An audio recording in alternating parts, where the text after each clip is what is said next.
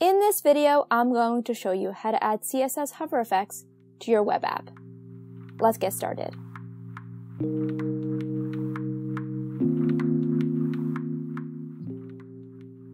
So to get started, I'm opening up a project that I'm currently working on. This is a to-do list React app that I'm currently working on in CodePen. For the moment, I have the majority of the code in HTML and some styling in CSS. So in my HTML document, I have my basic title, the link to the CSS file, a font that I'm using, and then the scripts for the React app. Below that, I have my functions for my to-do list item, and then my button to add a new list item. And then below that, I have my actual application that has several to-do list items. In my CSS, I have a basic styling for my body, the fonts throughout, the list items, and the button. I'm going to want to add a box around each item so they stand out a little bit more in the UI, and also add a hover effect, so when the user's mouse is on an item, it actually scales up. So to do this, I'm going to go down to To Do Item, and I already have several characteristics already signed. The first thing I'm going to do is add a box shadow around each item so they stand out a little bit more. So I'm going to type in box dash shadow, and with this, the first value represents the horizontal offset, the second value represents the vertical offset. Then I'll set a blur radius and then the spread, and finally a color that I will assign to that shadow. So first I will set a 0 pixel horizontal offset, Y offset, to 2 pixels. For my blur, I'm going to want to set it to 8 pixels so it's nice and blurred out. And then for my spread, I'm going to set it to 2 pixels.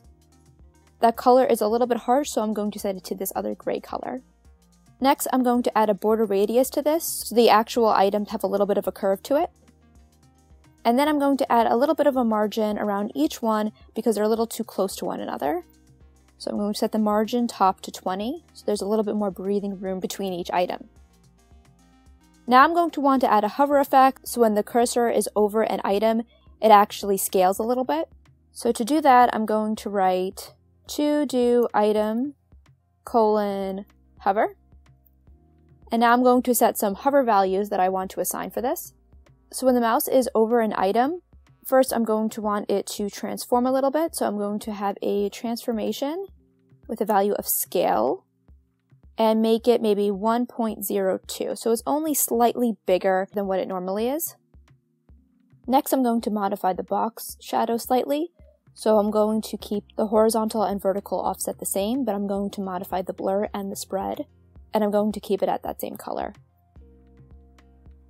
So now when I hover over it, it goes from the regular to the hover state instantly, but I'm going to want to add a slight animation so it actually animates between the two states. So I'm going to go back to to do item.